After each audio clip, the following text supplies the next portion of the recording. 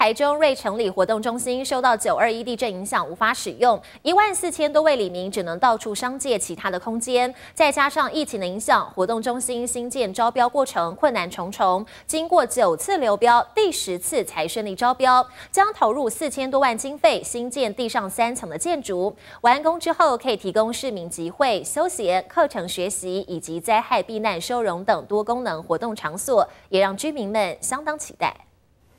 受到九二一地震影响，台中瑞城里活动中心无法使用，现在他们要有新的活动中心了。开工顺利。瑞城里活动中心新建工程遇到疫情，大宗物料急速上涨，招标过程困难重重。经过九次流标，第十次才顺利招标，投入四千多万，新建地上三层建筑物，预计一百一十二年五月完工。有较大空间，吼，啊，个有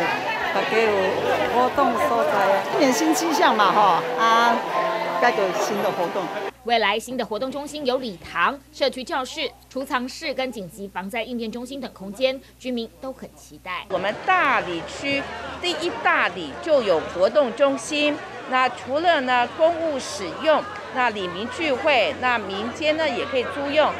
为城里人数约一万四千多人，李明多年来缺乏公共活动空间，往往必须商借其他空间。期待新的活动中心完工后，能成为民众聚会、活动休闲及多元课程学习展演空间，提升邻里人文气息。记者中部综报道。